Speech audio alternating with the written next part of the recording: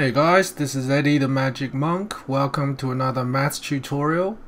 Uh, as you can see from last lesson, we worked on how to find the area bounded by two curves. And you can see that we did all this working out. So all of this working out just to find the area between the two curves. And the answer was uh, 17.46 so I'm just gonna write that down first. So the answer was uh, uh, 17.46 area. Uh, squared. Now uh, I wanted to show you guys a shorter way of doing this. And the reason for not showing you guys earlier is because I wanted you guys to understand how uh, this is done before I show you the shortcut. Otherwise you guys would just be doing the shortcut not really understanding the whole concept. So I want to talk a little bit about the reasoning behind the shortcut and the shortcut is sorry, the reasoning is that if you integrate, uh, if you integrate a function of x dx, the integral of the function f of x dx plus the integral of another function g of x dx is equal to the integral of the two functions added together. So f of x plus g of x dx. Okay, so that's just the most basic integration rule. You guys have used that already in our previous lessons. Uh, lesson 1, in fact, of integration. So, uh, this will also work for minus. So integral of f of x minus integral of g of x is equal to the integral of f of x minus g of x dx. Alright, so using this rule on this question, what happens is we have the line at the top which is the integral of uh, x squared, sorry, negative x squared plus 2x minus 8 dx minus the integral of x squared minus 2x plus 3 is equal to the integral of oops forgot the dx sign the integral of uh, negative x squared plus 2x minus 8 minus uh, x squared minus 2x plus 3 uh, this whole thing dx. So I haven't integrated yet. I'm just uh, simplifying at the moment.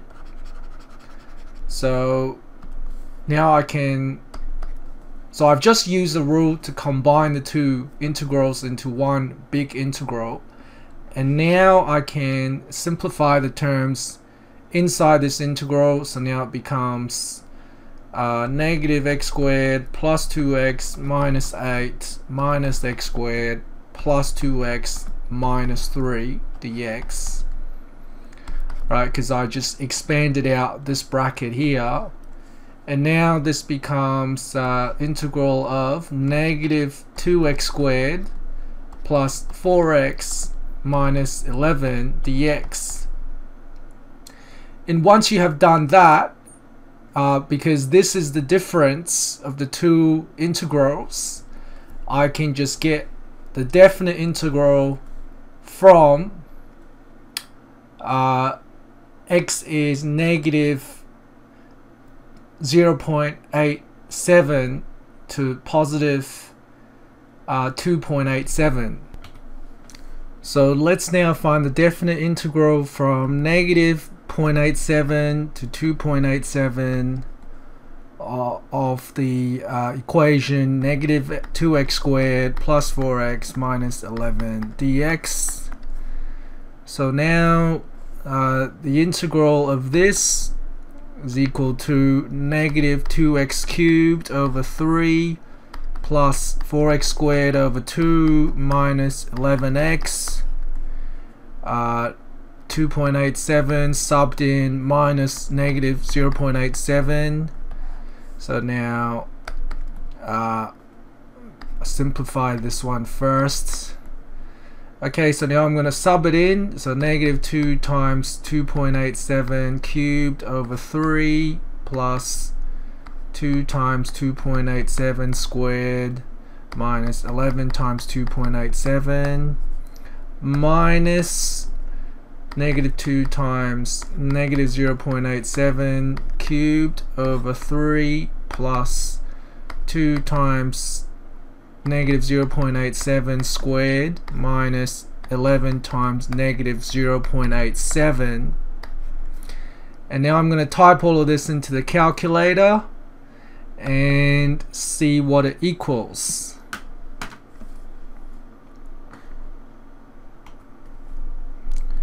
Now I've just realized I made a little mistake and uh, it's not a mathematical mistake. It's just the fact that I copied down the question wrong. So here f of x is negative x squared plus 2x instead of plus 8 like it said in the question somehow I put down minus 8 so you just got to watch out for these mistakes when you're doing the test unfortunately. So change that all to plus and then here this minus 11 becomes uh, plus 5 plus 5 so uh, let me just rub it out so basically I'm changing all the minus 11 to plus 5. Plus 5, plus 5. Okay, sorry about that mistake. So if you didn't follow my where I made the mistake, basically what I did was I copied down the question wrong. So this is plus 8 and somehow I had minus 8. So I changed that to plus 8, fixed up everything, uh, and then now when I put all this in the calculator, I get uh, 15.06 minus negative 2.3972 which gives me uh, 17.46 again, units squared, which is what I had before. So this is a this is a pretty good shortcut okay, for finding the area between the curves. So basically, instead of doing all of this, uh, steps 2 to 4 that I had in the previous lesson, the new step, the new steps are to find the difference of the uh, of the integrals. And then number three find the definite integral. All right so it's a it's a lot easier than doing all of that uh, which you will experience pretty soon if you do the question okay now just before we move on I just want to show you guys what happens if the x-axis cuts the area that we're trying to find. So let me just quickly draw a new graph. So as you can see I've just drawn the same graphs in GeoGebra. So the first equation is at the top and the second equation is at the bottom. And uh, if I find the integral between them, so integral between uh, these two functions negative x squared plus 2x plus 8 comma x squared minus 2x plus 3 from negative 0.87 to 2.87 and it gives me 17.46 Okay, and now I'm gonna move these two graphs uh, a bit further below so that the area cuts the x-axis.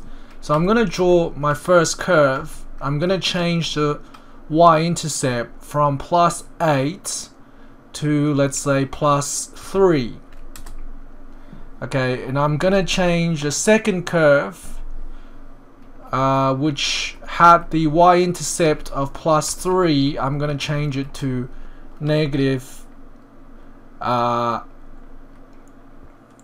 so my first curve I've moved the uh, y-intercept down 5 units. So I'm gonna move the second curve down 5 units as well. So I'm gonna move it down to negative 2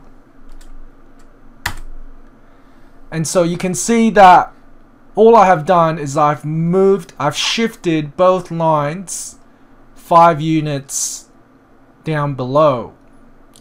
Okay so the area should still remain the same. So uh, if I do in, uh, integral between and I change the top line from plus 8 to plus 3 and the bottom line from plus 3 to negative 2 and then the area is still 17.46 so that means that if the x-axis cuts the area of the curve we still do the exact same steps. Okay we still find the uh, the difference between the two equations and then we simply get the answer from there. It's exactly the same thing. Okay so hope you guys learned something from this tutorial. Uh, see you guys next time. Thanks for watching